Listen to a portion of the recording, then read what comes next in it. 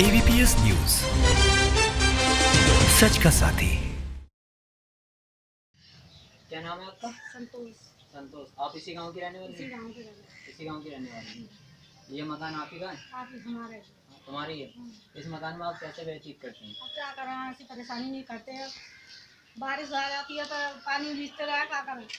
आप पानी लिखते रहते हैं मतलब टपकता है टूटा हुआ मकान। आपके पति का क्या नाम है? हुआ। रामपति तो आपने कुछ आवाज़ के लिए कंप्लेंट करी थी? करी है इनसे आप कोशिश कर रहे हैं बता रहे हैं हमने कभी सर आपके प्रधान जी का कार्यकाल कैसे चल रहा है? बहुत अच्छा बहुत संतोषजनक है कार्यकाल इनका जनता की जो समस्या है वह पूरा करने का प्रयास करते हैं।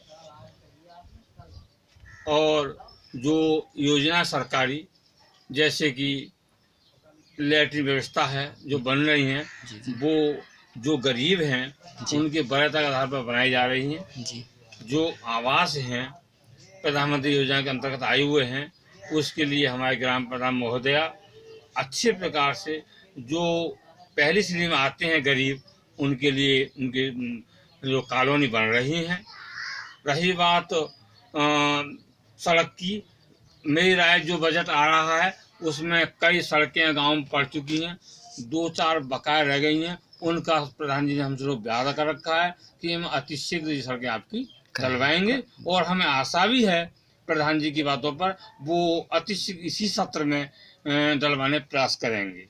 साथ साथ में पेयजल सुविधा है। वो भी व्यवस्था अच्छी बनी हुई है। दो चार नल हैं उसके। सर अभी हम प्राथमिक विद्यालय पे खड़े हैं जो कि हम देख रहे हैं रास्ता बहुत ही ज़्यादा खराब है। आइए हम जो टीचर हैं इस स्कूल के उनसे बातचीत कर रहे हैं। क्या कहना है उनके रास्ते के बारे में? बताइए सर। कि मेरा ये कहना है कि बच्चा जब भी सवेरे से स्कूल आते हैं ज़्यादातर कीचड़ में गिर जाते हैं समझाते हैं। इस रास्ते को ठीक होना चाहिए। अगर ये सीसी का हो जाए तो अच्छी बात है। जैसे कि गाँव वाला भी सुविधा और बच्चों को सबसे पहले सुविधा इतना पैसा आता नहीं है प्रधान जी और गानी से मेरी बात हुई तो उन्होंने मुझे जवाब दिया कि इतना पैसा हमारी निधि में नहीं आ रहा है कि हम इसका जमा करा सकें सही तरीके से प्रधानमंत्री प्रधान जी ने आपसे कहा कि मतलब जमा करा सके इतना पैसा हमारे खाते में नहीं आ रहा है। सीसी का का।